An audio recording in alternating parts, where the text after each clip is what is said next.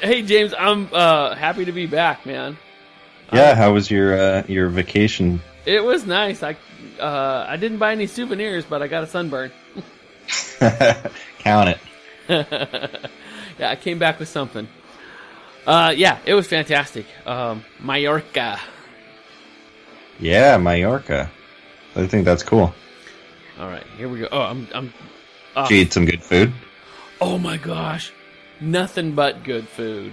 Like everywhere we went, it was just, uh, just the best food. And like out and like food, I was like, I was determined to try the things that I don't normally like jump out of my comfort box or whatever my Yeah. comfort zone. And I had a baby squid with almond. It was fried, and it was very like it was on my first night there, and I was like, "This is the best. It's not going to get better." and it was, and it and it did. It was fantastic food. All right, Awesome. here we go. Hi, and welcome to Seattle's number one comic book podcast. Comic book podcast. This is the podcast dedicated to the first issue of your next favorite comic book. I'm Larry, I'm James. and I think we found it tonight, James. Oh, uh, You, ep- we found your next favorite comic. Ah, I didn't want to put the cart before the horse, but we might be there. Uh, episode Wow. 115, Batman Year One, Frank Miller, David Mazzucchelli, 1987. Mazzucchelli has a lot of double letters in it. Double Z, double C, double L. Yeah, what cool, what cool, uh, uh, born in 1960. I was looking at his Wikipedia page. He is Nice. a cool dude, and if you, if you happen to buy the, uh, extra, uh, I have the hard copy of this, and if you happen to buy We're the, talking about Batman Year One. Batman Year One. If you happen to buy the uh, hard copy, in the back, I think this is just adorable. Um, there's drawings of Batman that David Mazzucchelli did when he was like a baby. Wow, He's that's been- fun. Drawing Batman for, you know, 50 something years. I just thought that was Haven't haven't we all? Yeah. Oh yeah, I guess I drew a couple Batmans when I was little. I'm not quite 50 yet, but yeah. Yeah. Uh, all right, so uh, yeah, Wait, Batman. before we get into it, Larry, do you have any recent indecents? I, know you might have been building them up for the last two weeks. I, Actually, did you do an episode? I didn't even see. I didn't. I didn't. I I I, I, I wanted to, uh, but man, swimming in the swimming in the Mediterranean, like that's all you want to do when you're there. so I read Yeah, no comics. No, jokes. yeah, I, I read no comics, but I did swim around a lot. But I did happen to find something from one of the guys in the shop in, in the uh, in the club. Brought this in a couple weeks ago. It's recent and decent. It's called The New World. Now this is written by Ales Kot, and you may remember that name because we did Zero. Uh, sci-fi. oh uh, yeah, yeah. That had the cool cover on it. cool cover and great interior art too. Um, but this is uh, this is Ales Kot doing the writing here, and Tradd Moore, and we've never talked about Tradd Moore, but Tradd Moore did a book called um, Luther Strode, who was just sort of this beefed up uh, badass Lu- wait, is it- character. Is it like Luther, the BBC show? No, no, uh, no, different. Uh, I don't know where the Luther Strode. I love that show. Oh, I've never seen it. It's good. Oh, it's it's got Idris Elba as the star. It, it- I'm a big fan of him. Anyway, Yeah. So, um, I, I am too. I like that guy a lot. Uh, well, New World. Now, this is a five dollar comic, but I think there's like ten thousand pages in it. It is. wow. No, it's it's a it's a thick first issue. Wait, I, for a second I thought that was like a serious number, and then I realized you were exaggerating. I'm Like, exaggerating. Ten thousand pages. That's a lot of pages. I bet there's I bet there's 50 pages in this in this first issue.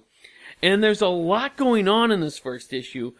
And I'm not going to say that the story really knocked my socks off into the dryer, but it's it's a really compelling story of a scary future that we're heading towards, sort of kind of like in the vein of like a running man, uh, uh, um, reality television show has taken over the world and the stakes are high. It's it's it's gory and that sort of thing. But I like I like the story well enough. But the standout is Tradd Moore's art. When you see this stuff, and I, I, I like this is like I said. There's a lot going on with this book. There's a lot of pages, and it was actually a three setting book for me. Like I, it took me a Oh, yeah. uh, it took me a lot of Cheerios to get through this every morning.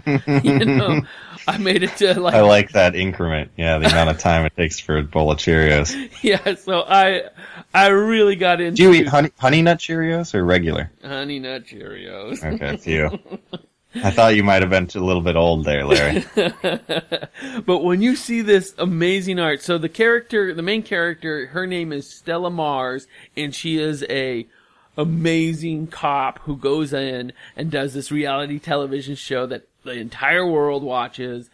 And, but her thing is that she's not going to, um, judge Dredd Swift judge justment, just, justice. You know, she is not going to kill.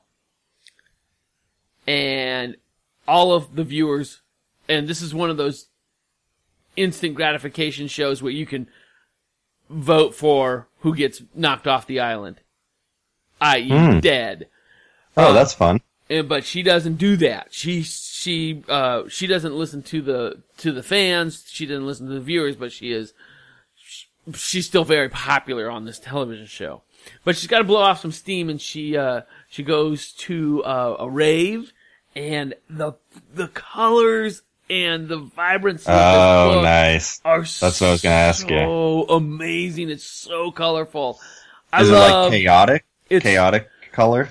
Because No. it sounds like it, it would match. it it, it there, there's some chaos, but like everything is very clear, crisp, very visual, very and like she she paints her face. That's what you look for in a comic. Oh, and like there are there's maybe five or six splash pages, including like some sort of like graphic, um, I don't know, like scenes where she and a, another character, a new main character. I don't want to spoil too much about the book, but it is just so Mm-hmm. Wait, amazing. sorry, Larry. What was the name of the book again? The book is called The New World, and it's, and it's New written by Ales Kot and art by Tradd Moore. You got to check it out. It's recent and decent. All right. Is it time to dive into Batman? I'm sure you got a lot to say, Larry. Batman's your your man. Uh, yeah, I like this Batman, and um, I'm curious as Should to we- what what you're gonna say because this is one of your favorite uh artists. Uh, he did uh, um, Um, uh, uh, Daredevil year Well, one. Well, I really, I, I, I didn't like Daredevil necessarily for the artist so much, but for the story and the character. Um, but I think for the time, he's one of my favorite artists, maybe.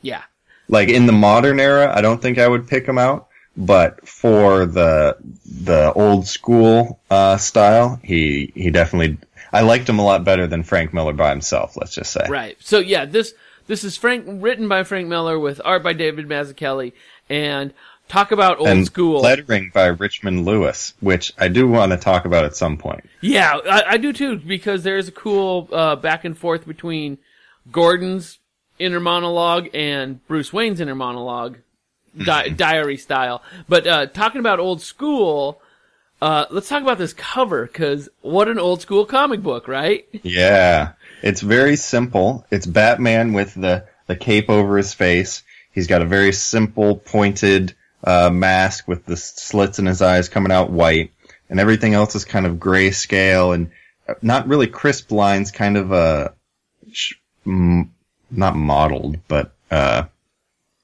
shade. Th- there's shade to it, but it's it's not. Uh, I don't know, Larry. What do you call it? Oh, I'm not looking at that cover, James. So you must have got all five or all four issues. Oh, you caught me, Larry.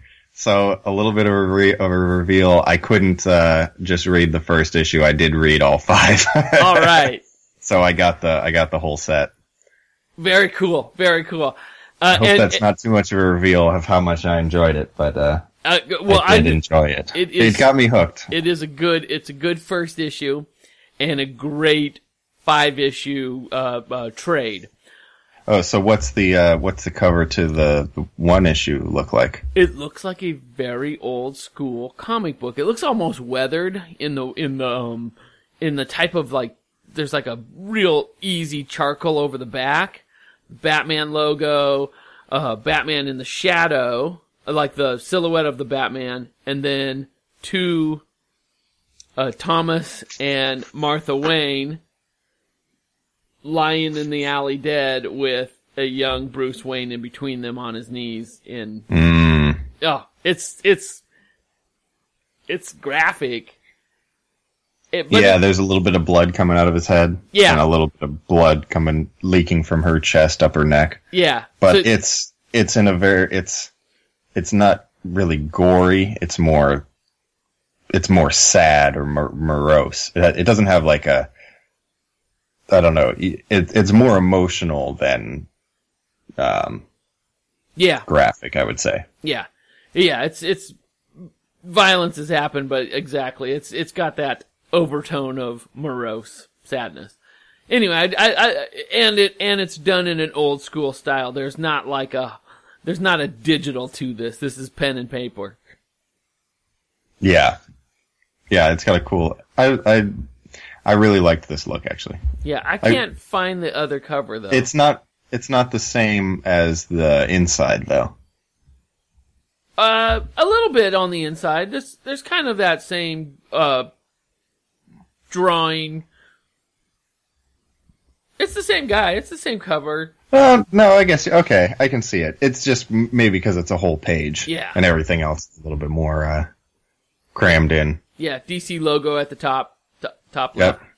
Okay, so we're diving right. into So this. chapter one: Who I am, how I come to be. Which I thought it would be how I came to be, but whatever. Uh, he will become the greatest crime fighter the world has ever known. It won't be easy. So I actually had a question about this. There seem to be some references to Superman and Metropolis. Uh-huh. Did you catch any of those? Uh, no, I didn't. And um, Let's see if they come up in this in this first uh, one. But it, it was all I was. It, it made me think like, oh, they're acknowledging Superman, but not really acknowledging Superman. Where am I looking at? Where are you reading that? Let's see if it comes up later. Maybe I was just imagining it, but uh, it's not in this first page, so I can't quite rec- quite can't quite quite recall. Okay. Um, uh, but- anyway, so we should we start off with the start, or should we do more of like a an overview of what what this first issue accomplishes?